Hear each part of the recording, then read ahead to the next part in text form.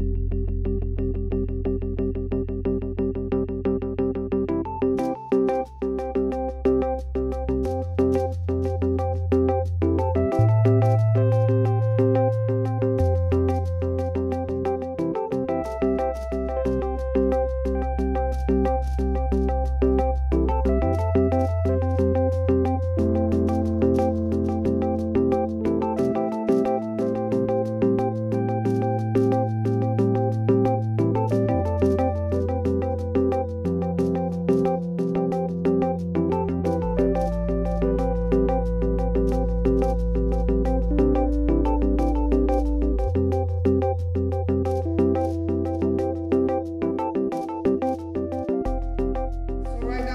is you're organizing information on Sudan, doing a quick mind work. My name is Michael Badu. I'm a dean at John Adams High School, and I also teach the Model UN program. Economic information that you gather. Two minutes, let's go. I Raise think your that brackets. we can all agree that Sudan is a country with a lot of controversy.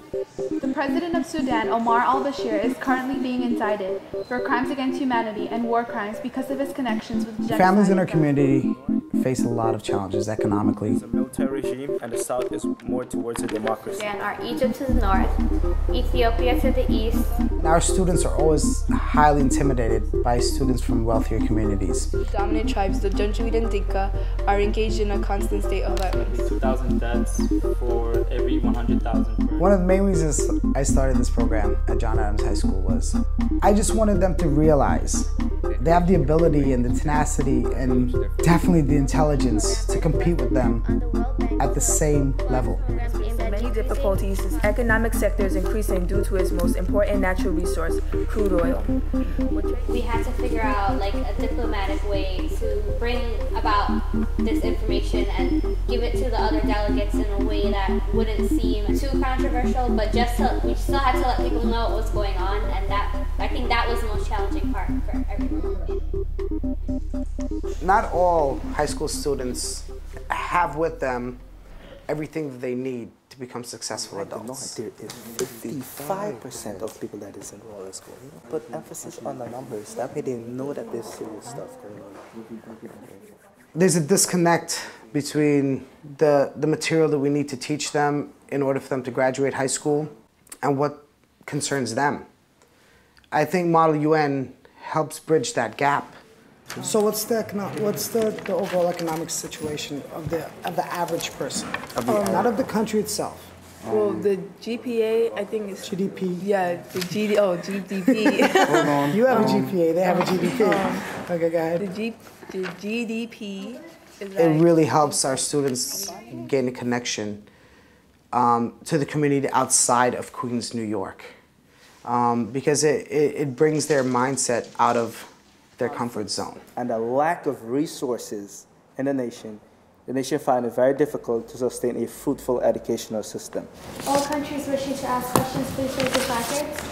How do you plan on stopping the propaganda caused by the diversity of the tribal groups within Sudan? Come on, guys. I could sit there and I could preach to a student every single day. You need to graduate. You need to come to class. You need to do your homework. You need to do this. But unless they have that emotional connection, which they want to do it, your chances of success are, are very limited. But by having a program like the Model UN program, you're creating that emotional connection for them. I know that not all the people around the world will like me. While you're there, there's only a couple things I want you to keep in mind. Spartan spirit, Spartan pride, Spartan tradition. Not everybody likes what I say, particularly when I am critical and I'm criticizing or condemning those violations of human rights. Two, three. Who are we? Spartans! Who are we? Spartans! Living in truth takes courage. It means being willing to take a stand for belief, even when those beliefs might expose you to disagreement, controversy, or sometimes even persecution. Sudan is not an important illicit drug producing or drug transit country. One of the largest landmass of any African country, with high diverse ecology, high agricultural production patterns, and major The world we all live in is being woven more closely together every single day by trade and technology and things like Twitter. But it also means that we all face a new breed of threats that can cross borders as freely as a storm.